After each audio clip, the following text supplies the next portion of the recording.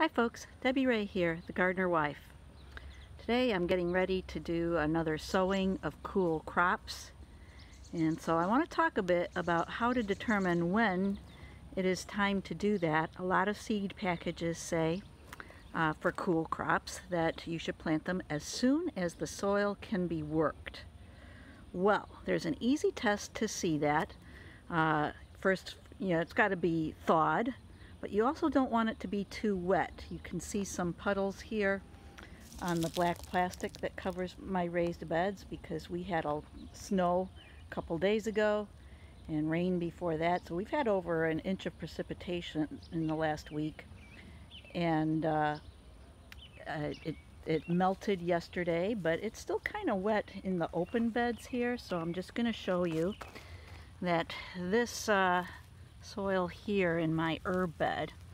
Uh, one of the best tests to see if the soil can be worked, like if you want to go at it with a tiller, is to pick some up, see if it forms a ball, and then you poke it. And if it's if it doesn't fall apart, you know, easily, then it's still too wet. And uh, going through, you know, if you're just starting a bed and you're using a tiller, uh, tilling it in this condition would be a bad idea.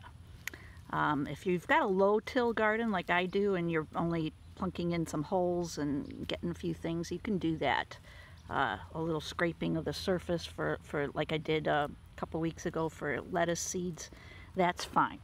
But uh, here I'm going to show you why I like my current system of covering these raised beds with black plastic in the winter because that means they stay drier during these spring rains.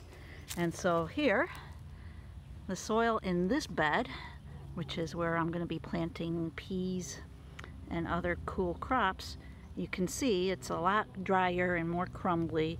It, will hold together and, and make a bit of a ball so it's not too dry, but uh, it just comes apart very easily. And uh, that means this soil is workable, ready to be worked. I don't have to work it. It was already uh, uh, hand shoveled. Manure was, was, you know, just lightly hand tilled in. This is a low till garden. Uh, rototiller has not touched this in years. And that keeps all the happy uh, organisms in the soil web well, it keeps them all happy.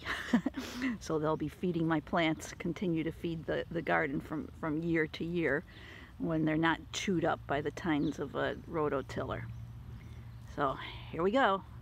I'm gonna start planting some cool crops.